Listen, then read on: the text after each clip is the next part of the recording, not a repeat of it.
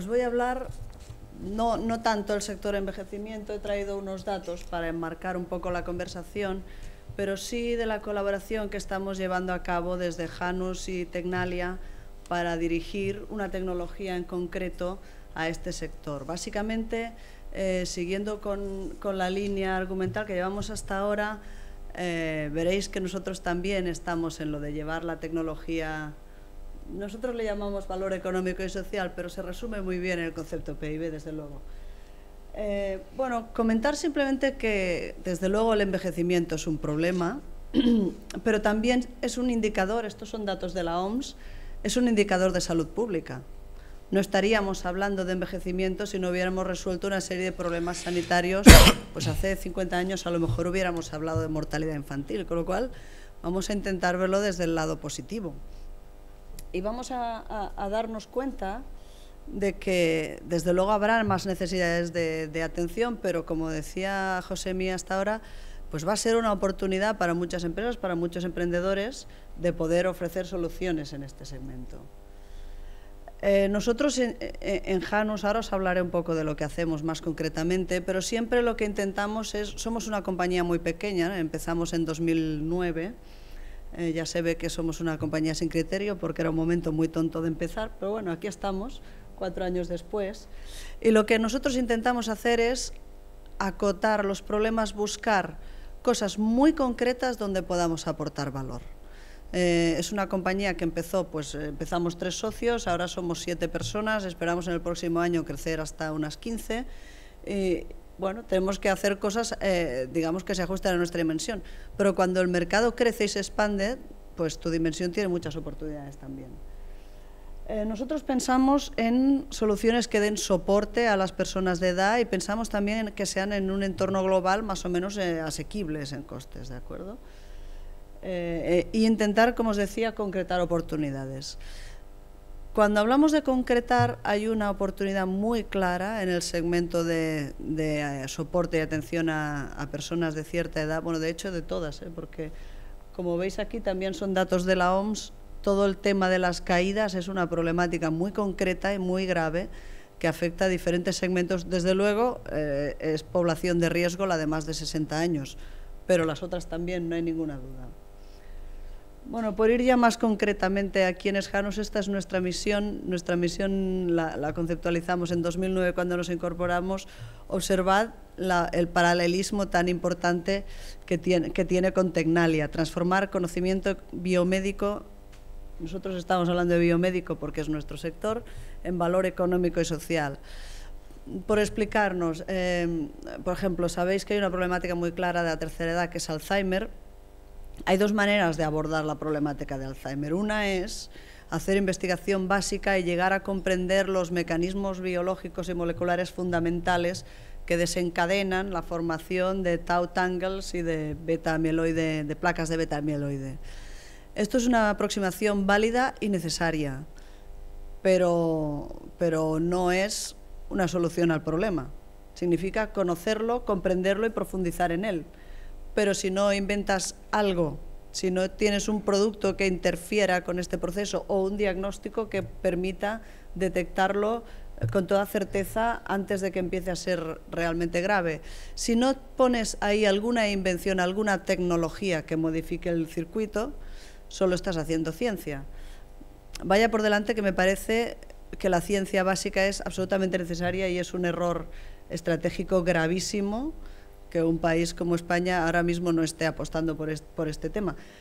Pero, por otro lado, también son necesarias empresas, centros tecnológicos como puede ser Tecnalia, como puede ser Janus, como otras que vamos a ver hoy, que además de este conocimiento básico, lleven al mercado herramientas que interfieran con los procesos.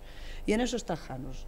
Eh, nosotros estamos básicamente entre los centros de investigación, empresas de O sea, entre lo que sería la tecnología y el mercado. Como somos una empresa muy pequeña, ocupamos solo un paso de este, de este segmento y lo que hacemos es decir, cuando alguien investiga, lo que, lo que tiene son resultados orientados al conocimiento, como os comentaba antes, de entender unos mecanismos moleculares. Sin embargo, cuando alguien quiere hacer un producto, ahí ya necesita o un medicamento, o un device de soporte, o un kit de diagnóstico, ya necesita algo que se parezca más a lo que al final se utiliza en un hospital, que raramente es el conocimiento de un mecanismo molecular, per se. Y entonces nosotros lo que hacemos es entender lo que nos está contando el científico o el tecnólogo o la, o la persona que está haciendo esa investigación básica y ver cómo podemos orientar a construir una herramienta. Ahora veréis un ejemplo muy bueno. Eh, más o menos nosotros tardamos dos o tres años en llevar a cabo cualquiera de nuestros proyectos. Hay una primera fase importantísima de análisis, es decir, qué entendemos de esta ciencia y qué podemos operar ahí dentro. Hay una fase de llevar a la práctica lo que es el proyecto y hay una fase final de buscar partners que ya sean mayores que nosotros y acaben con lo que nosotros hemos conceptualizado hasta llegar al mercado. Eh, como veis, el, paralelismo con Tecnalia es muy intenso y desde hace cuatro años nuestro director de la Oficina de Madrid, doctor Jorge Alemán, colabora con la División de Medicina de Tecnalia, de Medicina mm, Paliativa, ¿no? Si, no, me equivoco. División de Salud, en fin. Eh, básicamente, ellos son un centro tecnológico también muy potente y nosotros intentamos eh, ofrecer nuestra visión de lo que es el desarrollo de, de herramientas tecnológicas a su consejo asesor. Eh, hace un par de años vimos una tecnología que ahora les presentaré, que se llama Barstif, dentro de su portfolio de invenciones, y vimos también una oportunidad de colaborar con la Fundación Botín, que está también trabajando en un programa que se llama Mind the Gap, porque bueno, el, problema que les acabo de explicar, la dificultad de llevar la ciencia a soluciones prácticas en el mercado, de hecho tiene un nombre que se llama la paradoja europea. La paradoja europea dice que en Europa somos uno de los, de los centros del mundo punteros en investigación, en publicaciones, pero no trasladamos patentes al mercado.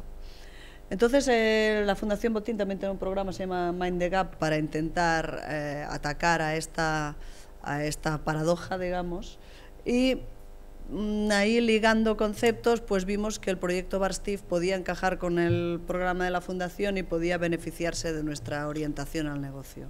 Vamos a ver si os parece el vídeo de lo que es Barstif. La fuerza del vacío. Tecnalia, a través de la iniciativa FIC, ha creado una nueva generación de tejidos inteligentes denominado Barstif, con el apoyo de Janus Developments.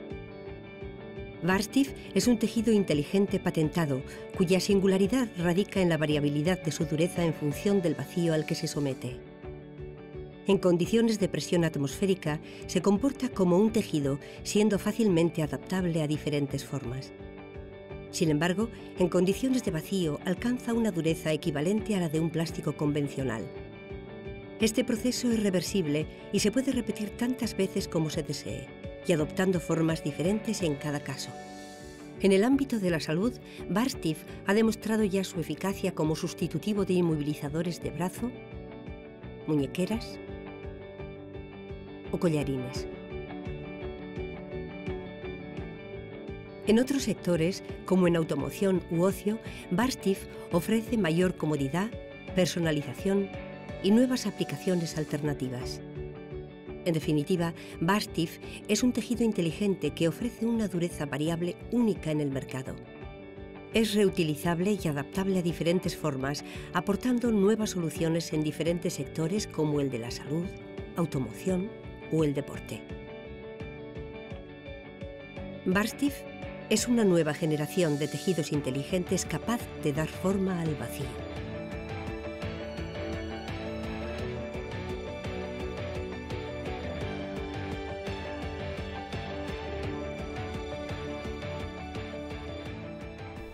Bueno, como verán, eh, este, esta tecnología de Tecnalia es una solución extraordinariamente ingeniosa. O sea, han, conseguido que, una cosa que es extraordinariamente flexible, como un tejido de plástico, pueda tener la dureza que quieren. Y aquí viene cuál es la colaboración con Janus. Eh, cuando tenemos una tecnología por válida que sea, dirigida a tantísimos sectores, es muy difícil de visualizar para la industria eh, cómo, llevar la aplicación.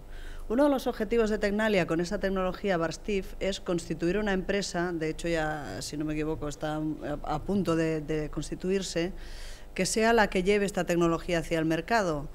pero como muchos de ustedes sabrán, es imposible conseguir el interés de los inversores si no empiezas a tener un prototipo y una, un plan muy claro para empezar a llegar a comercializar. Si no, estás en un, en un ciclo de invención, innovación, que no se puede concretar y esto a los inversores no les resulta nada atractivo. Aquí volvemos de nuevo a, la problemática que les he comentado antes. O sea, cerramos el círculo un poco conceptual entre una tecnología atractiva, una problemática concreta y lo que nosotros hacemos en Janus es ayudar a desarrollar un plan para orientar esta tecnología al mercado. Esta es nuestra parte de colaboración con ellos. Eh, nosotros hacemos básicamente unos 20 proyectos al año, la mayoría son internos nuestros, pero muchos también son de colaboración con otras empresas, por ejemplo, en este caso Tecnalia. Y básicamente lo que hacemos es decir, bueno, eh, ¿a qué podemos aplicar este producto? Han visto en ese vídeo varias aplicaciones, la última les explicaré después, que es la que va a ir primera hacia el mercado. Pues podemos aplicarlo pues, desde a un inmovilizador para un brazo fracturado a otras indicaciones que ahora les comentaré. Entonces, lo que nosotros decimos, bueno, ¿cómo hay que fijar los objetivos? ¿Cómo hay que hacer el plan para que esta tecnología, que en principio es multiaplicación, se concrete en un device que se pueda ya vender para beneficiar a algún paciente? Si no, si tenemos una tecnología atractiva pero que no tiene una concreción, tampoco beneficia a ningún paciente. ¿eh?